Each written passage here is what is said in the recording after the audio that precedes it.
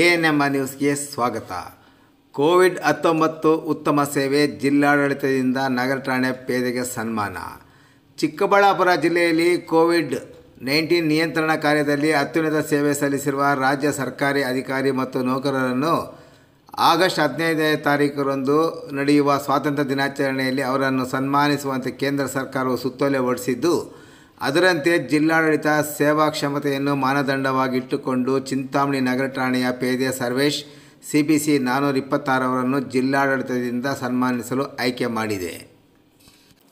ಚಿಕ್ಕಬಳ್ಳಾಪುರದಲ್ಲಿ ಶನಿವಾರ ನಡೆಯಲಿರುವ ಎಪ್ಪತ್ತ ನಾಲ್ಕನೇ ಸ್ವಾತಂತ್ರ್ಯ ದಿನಾಚರಣೆಯ ಕಾರ್ಯಕ್ರಮದಲ್ಲಿ ಸರ್ವೇಶ್ವರವರನ್ನು ಜಿಲ್ಲಾಧಿಕಾರಿಗಳು ಸೇರಿದಂತೆ ಜಿಲ್ಲಾಡಳಿತ ಸನ್ಮಾನಿಸಿ ಗೌರವಿಸಲಿದೆ.